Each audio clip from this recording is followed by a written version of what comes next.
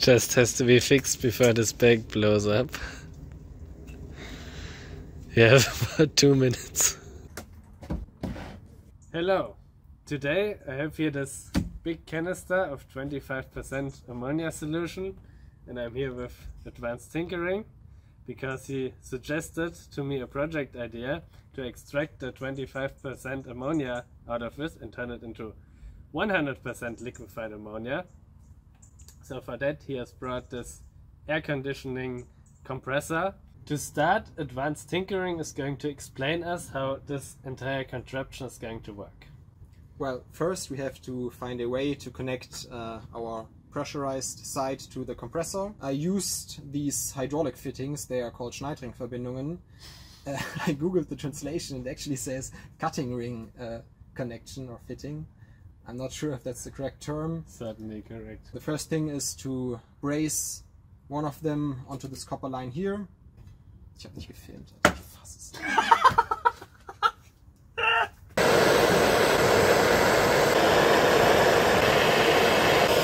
sehr ähnlich aus. Nee.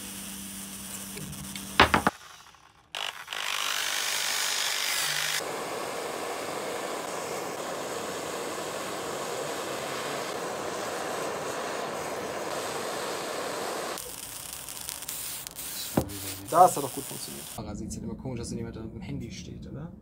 Ja. Alter, man bräuchte einen Kameramann. Elias. Warum hast du keinen Kameramann? Ja, Schwach. sag mir, wo ich ihn herbekomme. We've braced on our fitting to the copper pipe. We've had problems with the type of brazing wire we used uh, at first, but then we switched to a silver brazing wire and that worked fine. To connect our plastic tube here, we are going to use these hyd- hydraulic fittings. Now we can connect it to our fitting. We need to put a red cross in the calendar for finally using the proper tools.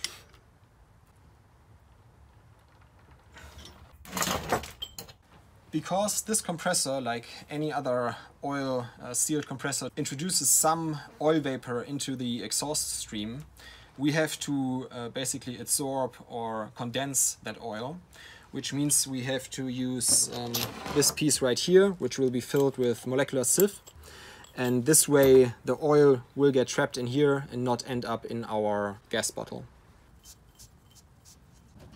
Alles good. I've took some time to prepare everything, so you don't have to watch me uh, wrap Teflon tape around 10 threads. Three rolls of Teflon tape. the more the better. And as I've said, uh, we are going to fill this um, oil absorber with uh, molecular sieve. At the top here and also at the bottom there is some glass wool to prevent any molecular sieve from getting in the gas lines. The second important part of the pressure line is uh, the pressure gauge right here to monitor the pressure in the system and this ball valve here which we can use to uh, on the one hand evacuate the cylinder and the whole pressure line so there's no air inside and also to vent the system uh, in case we need it. Went the ammonia. Better than exploding the ammonia. Who left the lid of the molecular sieves open?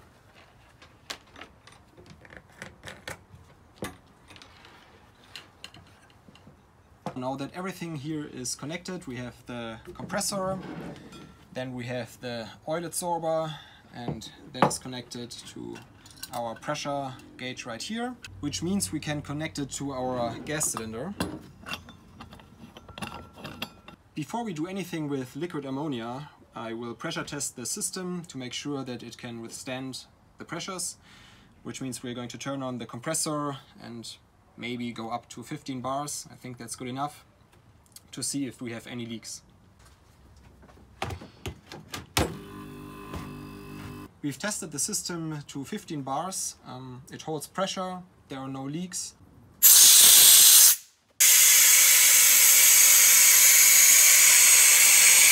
Let's hope this doesn't happen Ah, with the ammonia. So now that we have our bottle of liquid ammonia here, we can test for that by simply Just joking, of course. The apparatus is now fully assembled right here. It's quite a simple setup. We're going to put in the concentrated ammonia solution in here.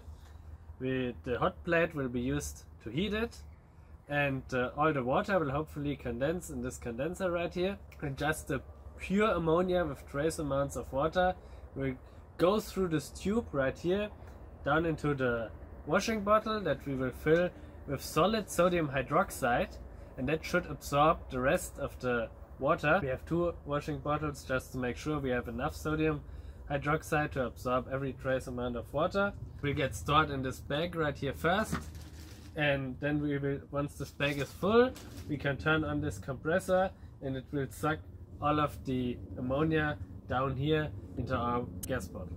Our wash bottles right here with the sodium hydroxide.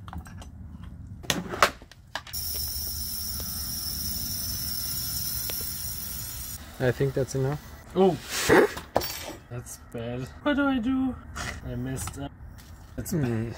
Great, now I have the sodium hydroxide on my joint crease. Yeah, perfect. Yeah.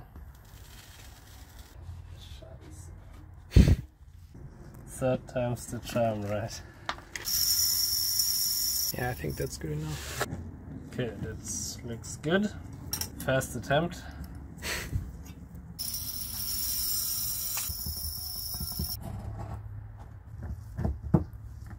Next, we need to fill in the ammonia, which will be the most fun part.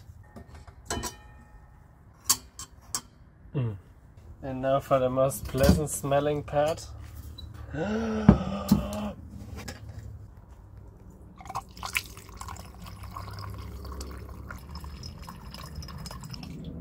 that's good. Oh, smell it. Ist das wirklich konzentriert?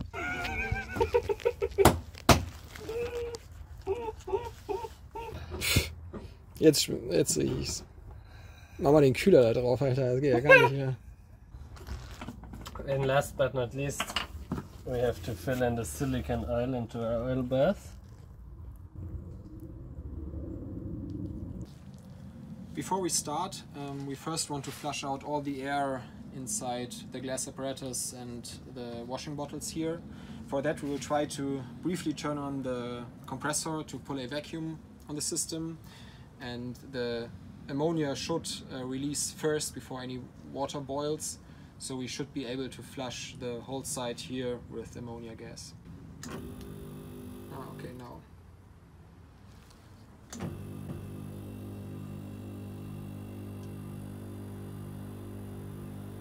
Question is now, how long do we need to flush? So we smell ammonia coming out of our uh, line down there. Well, put it to your nose then. I'm smelling something. You do? Whoa. Oh yeah, no, now I smell something too. Whew.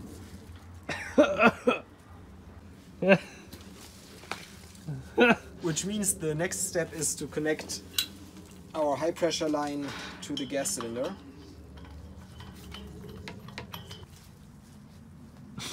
The gas cylinder is currently in a bucket of water just to uh, remove some of the heat we will produce when compressing the gas. Before um, we can compress our ammonia into our gas cylinder, I will pull a vacuum on the high pressure line and the gas cylinder via the vacuum pump right here and via the spall valve to remove any leftover air inside.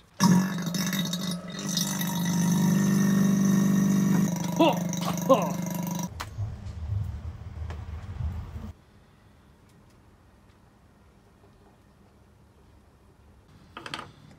Someone filled in too much of the silicon oil, so we have to remove them. Otherwise, this will probably spill over if it heats up any further.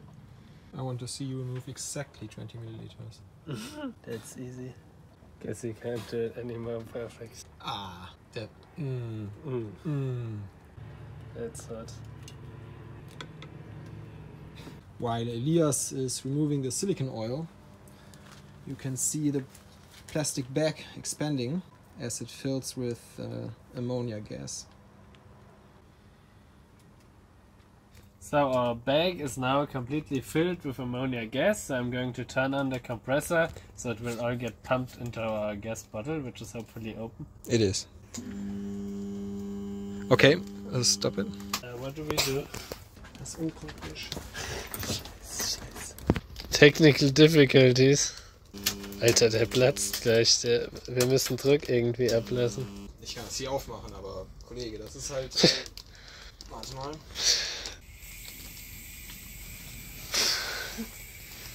This is a terrible idea. Okay. We have to remove the. Ja, wir müssen das irgendwo aufmachen. Open it, open it. Oh. So right now we are basically screwed.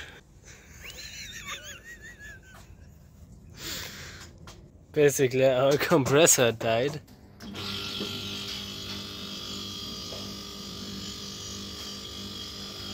Why are we at 12 bars? Do we have too much air contamination?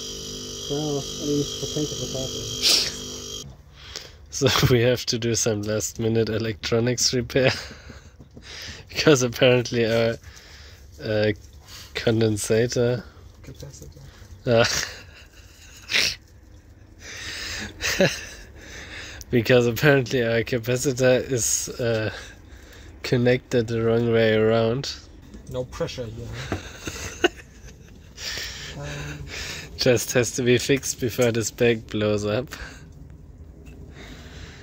you have about two minutes let's hope this works now natürlich nicht. It doesn't. We're screwed. Super cool. Ähm. Oh. We're so screwed. so, warum? Was ist, was ist denn dieses Surren überhaupt? Was bitte? versucht er zu starten, aber dreht nicht hoch. Vielleicht musst du ihm einfach mehr Zeit geben. Nee, Warum nicht? Weil er nur heiß läuft. Der kriegt. Der, wenn. Also ich weiß, dass man nicht länger warten muss. It works. It works. I'm not sure what's different uh, from now and 15 years ago, but I mean it's 15 years ago. I knew that my compressor had problems uh, starting too, but not as soon as this one. Um, it's very hot, so we are going to put it in a bucket of water to cool it down. That's the professional way. Yeah, electronics and water always mix as well. What could possibly go wrong? And now it's nice and cool. We are leaving it in this water bucket here to cool it because it gets quite hot and the water is just there to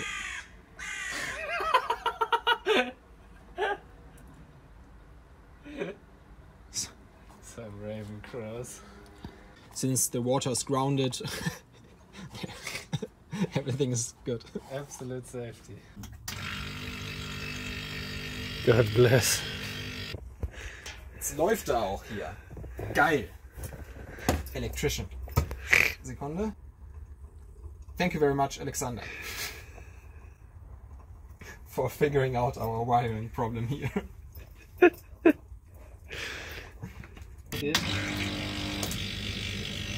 This worked perfectly. We are going to change out the ammonia solution right now because this one is only releasing the ammonia quite slowly by now and we don't have the time for that. And now we'll pour the solution into the speaker so we can dispose of it.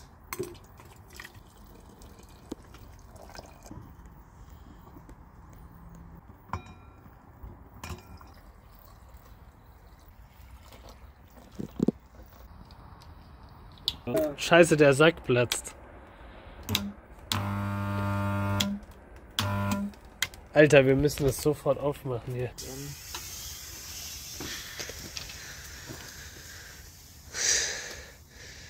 So the compressor is completely dead. Our bag is almost exploding with ammonia. Basically, we are completely screwed right now. Ja, der Kompressor ist tot. Warum bist du dir da so sicher? Ja, ich weiß nicht.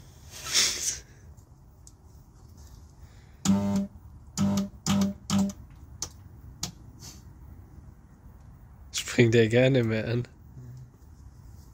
Ja, der ist tot. Alter. Willst du mal in der Nadel reinstechen? Ungern.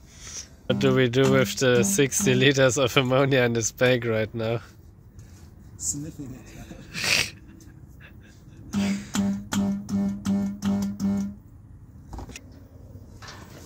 Und belüfte mal hier, ja. Oh